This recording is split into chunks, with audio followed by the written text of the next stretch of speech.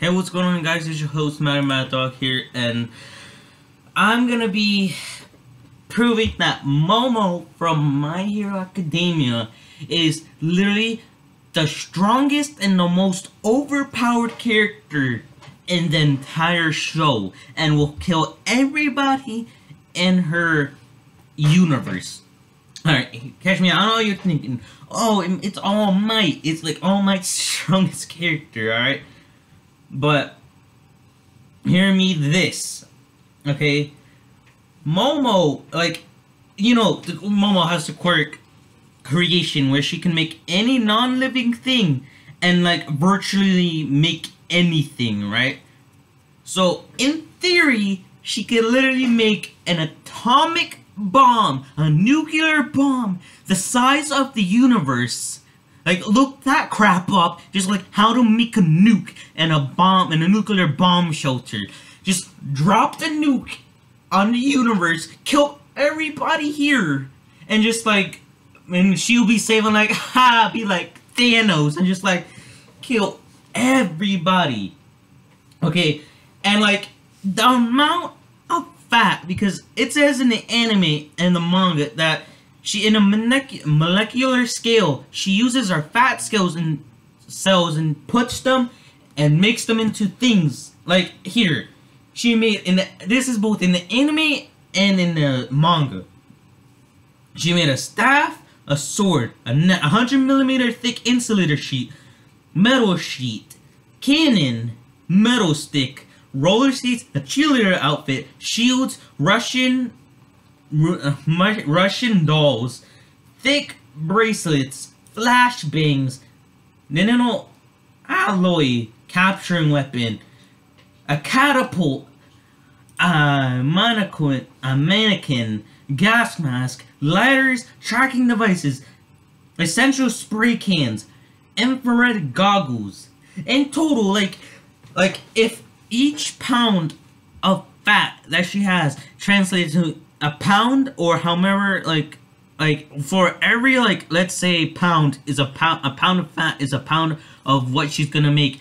Like in total for everything that she made at least once like an average around 3,464 pounds and 59 ounces or 1,571 kilograms of fat which she has to contain all in her body. And you've seen she's very skinny. The only fats that are on, on her is her breasts, her butt, and her legs. Like, you would literally die by at least like 800 pounds or 362 kilograms. Like, literally, like, she has to consume like hundreds of like pounds of fat. Like, and plus your body needs fats to saturated fats. It needs to store some of it. And plus, like, you don't get how, and her canon height is 5 foot 8. Like, an average teen, 16 year old girl like her needs around, like, issues, weighs around 139 pounds to 150 pounds. And which that translates to in kilograms, which is 59, 57 to 69 kilograms. But like, here's the thing: like, she's so like she's literally like a goddess at this point. Because like, a she can cre create any non-living thing that she wants, and like, it's just her fat cells. Like, if she's getting, I would understand if it's like a big chunky girl and like she can make almost anything, but like literally the biggest and complexest things here she can create. Like, how strong that you have to be, and like, what?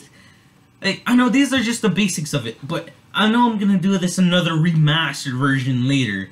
Trust me, you got my word on that one. But anyway, Momo, besides Ochaco, is like the strongest person ever because she can literally like get anything she wants. Like I don't want to say Ochaco because literally, like she can, her quirk is um like can manipulate gravity on any person. If she accidentally falls and doesn't turn it off, like in time, she can literally touch the earth, and the only thing that's keeping the earth from not, from like going apart from each other is the gravity. So if that happens, that literally the Earth will just fall apart and just like expand everywhere else and not staying in one place. So, yeah, and then theory, Momo is the strongest character and the most overpowered because she can make whatever any deadly weapon she wants. Because she can make a nuke. Like a bomb, C4, and uh, guns, machine guns, mini guns. She can literally have whatever she wants with infinite like ammo. Like infinite nukes drop like pa pa pa pa pa. Like she's literally the most overpowered person out there. Alright. Thank you guys for watching this theory. And remember, this is a film theory. Thank you guys for watching.